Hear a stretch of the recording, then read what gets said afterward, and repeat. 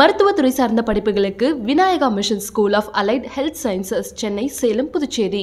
Sura school guides two thousand twenty three and twenty four edition அனைத்து வகுப்புகளுக்கும் தற்போது அனைத்து புத்தக கடைகளிலும் கிடைக்கும். Learn from over 250 musical courses from six different genres. Visit bmusician.com.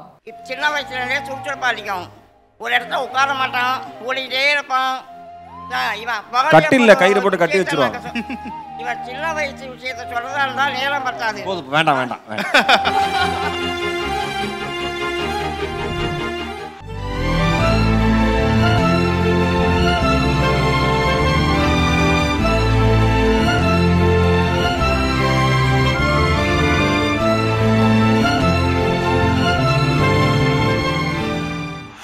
Erode மகேஷை பற்றி நிறைய பேர் சொல்லும் போது பையன் ரொம்ப தங்கமான பையனாக இருக்கானேப்பா.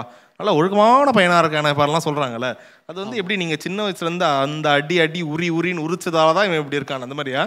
இல்லை இல்லை. அவன் நான் அவன் பாட்டுக்கு இருப்பான். சரி குழந்தைகளுக்குரிய ஒரு குறும்பு எப்போவுமே இருந்துட்டு இருக்கும் அவன் எங்கிட்ட மாட்டாத அளவுக்கு அவன் குறும்புகளையும் இதையும்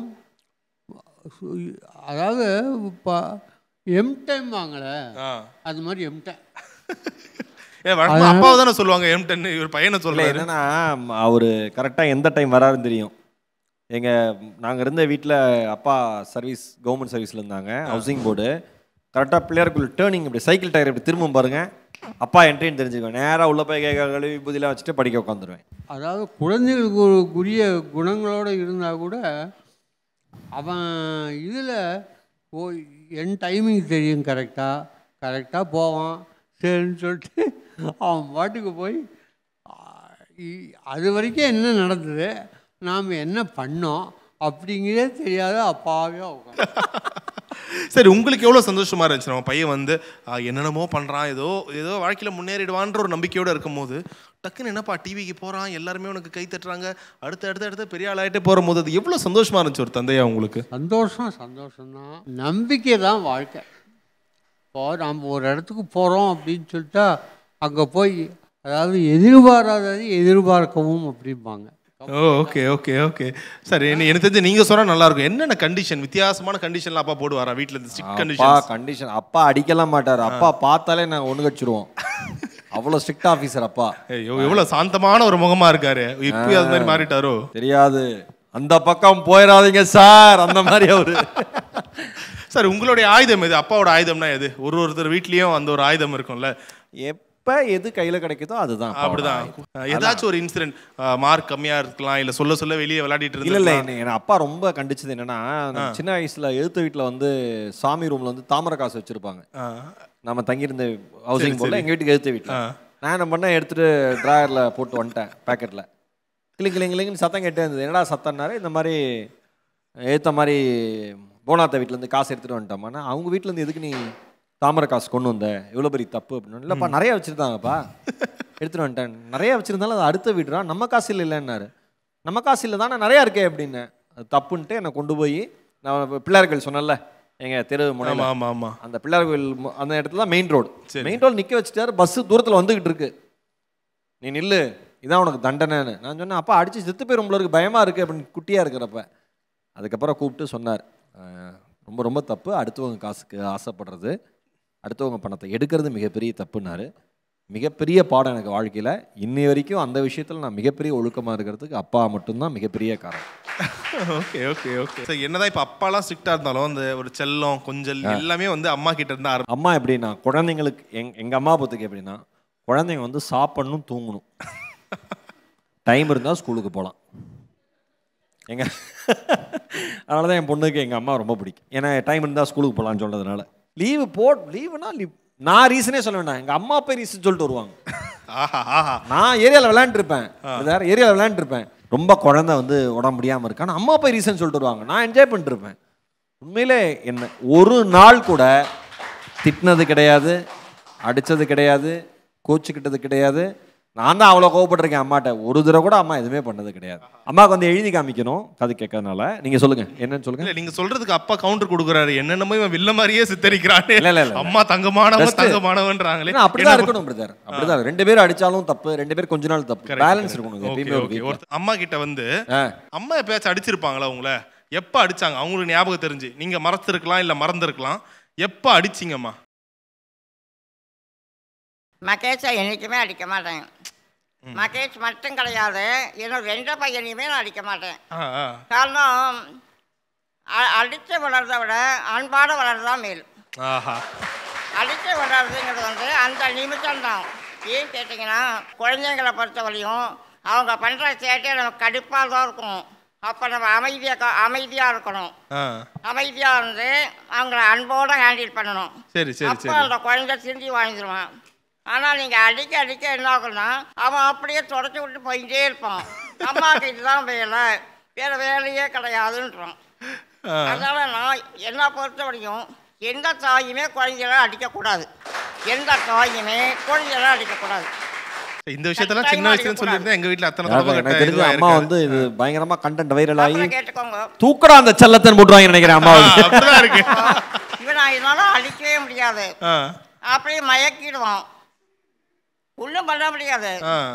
அவரை கரெக்டாக செய்வான் எல்லா வேலையும். அடிக்கிற மாதிரிலாம் ரெண்டு பையனுமே அடிக்கிற மாதிரியும் நடந்துக்க மாட்டாங்க. கொஞ்சம் சூட்டுக்கு அதிகம். இப்ப சின்ன வயசுலேருந்தே சுறுசுறுப்பாக அதிகம். ஒரு இடத்துல உட்கார மாட்டான் ஓடிக்கிட்டே இருப்பான்.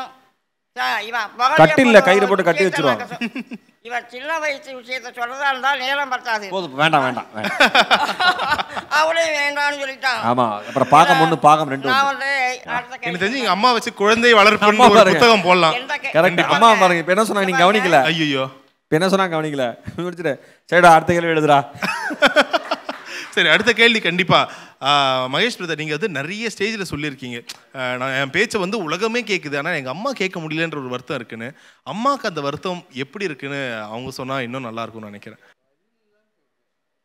அவன் பேச்சை கேள்வி வருத்தம் நிறையா உண்டு வருத்தம் நிறையா உண்டு. அந்த சாதா உயர மிஷின் கூட கேட்டு டிஜிட்டல் மாற்றினோடனே என்ன ஆயிடுச்சு? ஓவர் சவுண்டாக இருக்கிற சவுண்ட் போயிடுச்சு. பட் ஆனால் இப்போவும் இருக்கும். இப்போ இவன் என்னை பற்றி பெருமையாக பேசுவான் புகழ்ந்த பேசுவான். என்ன வேணா பேசுவான். அப்போ நம்ம குழந்தை நம்மளை பற்றி பேசி கேட்க நிறையா வருத்தப்பட்டிருக்கேன். ஆனால் நான் வருத்தப்பட்டாலுமே என் பையன் உயர்ந்த இடத்துக்கு வரான் வாழ்க்கையில் உயர்ந்த நிலைக்கு வரான். அந்த ஒரே ஒரு சந்தோஷம் தான் எனக்கு காது கேட்கலைனாலும் அந்த ஒரே சந்தோஷம் தான் இதுவரை இதுவரையிலையும் காது கேட்கலைங்கிறத நான் வருத்தமே பட்டதில்லை. மற்றவங்கள பேசும்போது மற்றவங்கள சைட்டை க ஐ சைட்டாக பார்ப்பேன். அதை வச்சு அவங்க நம்மளை எப்படி ஜட்மெண்ட் பண்ணுறாங்க கேள்வி பண்ணுறாங்களா கிண்டல் பண்ணுறாங்களா நம்மளை ரசிக்கிறாங்களா ரசிக்கிறியா? அப்படி டக்குனு கட் பண்ணிடுவேன். இல்லை கிண்டல் பண்ணுற அளவுக்கு கேள்வி பண்ணுற அளவுக்கு நான் வாழல உலகத்தில். எப்பவுமே பெருமைப்படவும் சந்தோஷமாகவும் வாழ்ந்திருக்கேன். Super, super, super. காது கேட்கலைங்கிறதுக்காக மற்றவங்க எவ்வளோ அப்படி சிரித்தாலும் அப்படி ஏதாவது ஓரப்பார்வை பார்த்தாலும் டக்குன்னு கண்டுபிடிச்சிடுவேன் உண்மையே அதுதான். ஓகே ஓகே ஓகே நம்ம நாலு பேர் பேசுறப்ப இப்ப நீங்க யோசிச்சு பாருங்க. இப்ப நான் பேசிட்டு இருக்கேன். என்ன பேசுறேன்னு அம்மா கேட்காது. புரியாது. ம். ஆனா அவங்க அப்படியே அமைதியா பார்த்து லிசன் பண்ணிட்டே தான் இருப்பாங்க. ஆனா அம்மாவால ஜட்ஜ் பண்ண முடியும் எல்லாமே. சரி சரி இவங்க நம்மளை கிண்டல் பண்றாங்களா? இல்ல அலட்சியப்படுத்துறாங்களா? அப்படின்னு. ஸ்ட்ராங் தான் ரொம்ப ஸ்ட்ராங்கான கண்டிப்பா கண்டிப்பா. இப்ப அம்மா கிட்ட இருந்து அப்பா கிட்ட ஒரு த்ரீ மார்க் கொஸ்டின் கேட்க போறேன். என்ன? ஒருன்னா சார் இப்ப நிறைய பேர் சொல்லுவாங்கல்ல மகேஷ் வந்து ரொம்ப எமோஷனலான ஒரு பர்சனா இருக்காரு. சில விஷயங்கள்லாம் பேசும்போது தானா அந்த கண்கள்ல இருந்து கண்ணீர் வந்துடுது சின்ன வயசுல இருந்தே அப்படிதானா?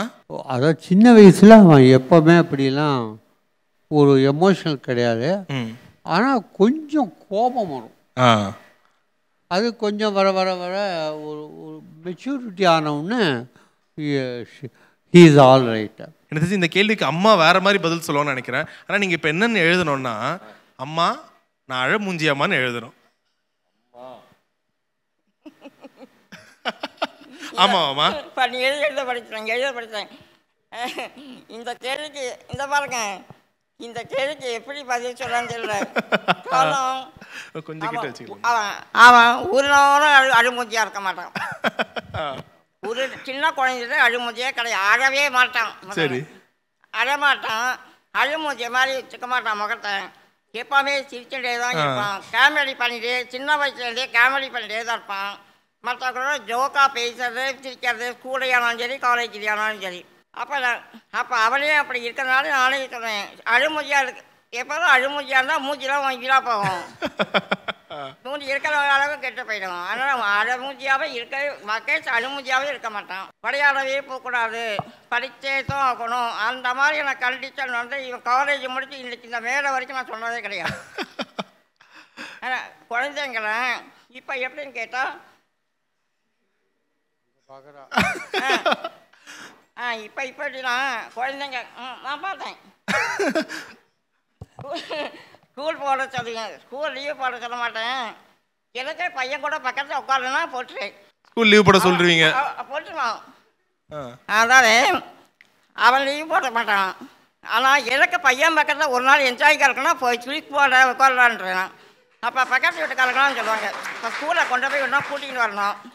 காலை இவர் கொண்டு போய் விட்டுறாரு. நான் மத்தியானம் பன்னெண்டு மணிக்கு நான் கூட்டின்னு வரேன். சாப்பிட்டுட்டு ஹோம்ஒர்க் எழுதி கொண்டு வரணும். மறுபடியும் மூணு மணிக்கு கூட்டினு அப்போ டெய்லி கேஷுவலாக நடக்கும்போது சில நாளைக்கு கொஞ்சம் மனசு ஒரு மாதிரிக்கா இருக்கும் அப்போ என்ன பண்ணீங்கன்னா டேய் வேண்டாம்டா பேசாமல் படிச்சுக்கூடா நீங்கள் போகணும்டா பள்ளிக்கூடம் அப்படின்ட்டு. தெரியுமான்ட்டுருவான் அவனும் பக்கத்து வீட்டு பொம்பளைங்களாம் சொல்லுவாங்க ஏ மாமி படிக்கிற பையனை இப்படி கெடுக்கிறீங்க பேசாது கொண்டு போய் ப- பள்ளிக்கூடம் கொடுங்க மாமி நான் கொண்டு வரேன்ப்பா என் பையன் இன்னைக்கு ஸ்கூலுக்கு வரமாட்டான். அவன் என் கூட இருப்பான் போங்கான்னு எனக்கு எனக்கு தெரிஞ்சு இந்த வீடியோ பார்க்குறவங்களாம் அவங்க அம்மா கிட்ட லூப் மோட்ல போடுவாங்க போல. இந்த மாதிரி ஒரு அம்மாவா நீங்க மாறுங்கன்னு. அவங்க. அவங்ககிட்ட கேட்கும். அவங்ககிட்ட கேட்கும். ஆஹா. இவரும் அந்த மாதிரி கிடையாது. மொட்டை மாடியில் வடகம் காயம் அந்த வடகம் சாப்பிடுவோம்ல? ஆமா. வடகம் அப்பளம் மாதிரி வடகம். ஆமா. அதை காய போட்டிருப்பாங்க நண்பா. அதுக்கு லீவ் போட சொல்லிடுவாங்க அடாடா. வடகம் காய போட்டுருங்க சும்மா மேலே போய் பார்த்துக்க ஜாலியாக விளையாண்டு அப்படின்னு. அப்புறம் பக்கத்து பையனை என்கரேஜ் பண்ணுவாங்க எங்க அம்மா. அது ரொம்ப ஜாலியான உங்க வீட்லயும் வடகம் போட சொல்றா லீவ் போட சொல்ல மாட்டாங்க. ரெண்டு பேரும் சேர்ந்து வடகம் பார்த்துக்க நான் உங்க அம்மாட்ட சொல்லிக்கிறேன். அடாடா. அப்புறம் ஸ்கூலில் கொண்டு போயிட்டா அஞ்சு கிளாஸ் வரைக்கும் நடக்கவே மாட்டான். இடுப்பை தூக்கிட்டே தான் வரணும். நடக்கவே மாட்டான். கொஞ்சம் அரை கிலோமீட்டருக்கு மேலே ஸ்கூல் இருக்கும். சரி, சரி. கால் வலிக்கிறதுமா கால் வலிக்கிறது மாமா அப்புறம் நடுவழியாக மிட்டாய் கடையை வர சாக்லேட் கடை வர சாக்லேட் வந்தால் தான் வீட்டுக்கு வருவேவான் ஏன்னா அப்பா வந்தால் அடிப்பாடா வேண்டாம்னா சொன்னா கேட்க மாட்டான். தேசிய அவமானம் அந்த சாக்லேட் வாங்கினாதான் இந்த பங்களா கடை வாசல் நகர்ந்து வருவோம். ஓகே. அண்ட் எனக்கு தெரிஞ்சு இப்பயே உங்க அம்மா வந்து பேசின பேச்சுக்கு எல்லாருமே எங்களை ஒரு சூப்பர் மாமா. எல்லாம் ஏத்துக்கிட்டு இருப்பாங்க. இந்த இடத்துல அவங்களுக்கு ஒரு சின்ன ஒரு அங்கீகாரம் கொடுக்கணும்னு ஆசைப்படுறேன் வித் எங்க டீம் சார்பாக.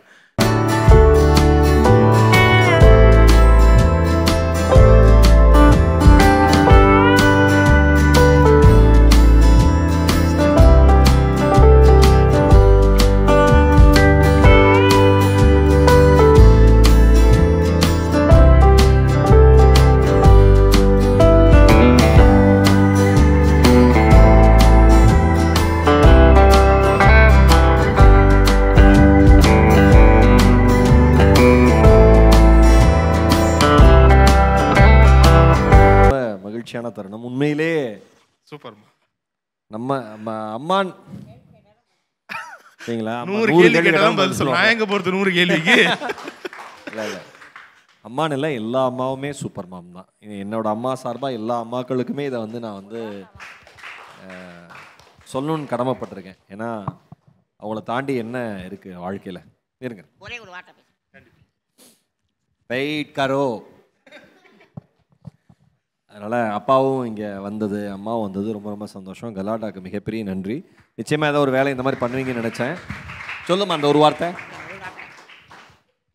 இந்த மாதிரி மகேஷுக்கு அவள் மீது அன்பும் ஆதரவும் செலுத்தி இந்த நிகழ்ச்சியை நடத்தின நடத்தின எல்லாருக்குமே என்னோட மனமார்ந்த நன்றி தெரிவித்துக் காரணம் இவ்வளோ பேருடைய அன்பையும் ஆதரவையும் மகேஷ் அடைஞ்சதுக்கு நான் ரொம்ப பெருமைப்படுறேன் ரொம்ப சந்தோஷப்படுறேன்.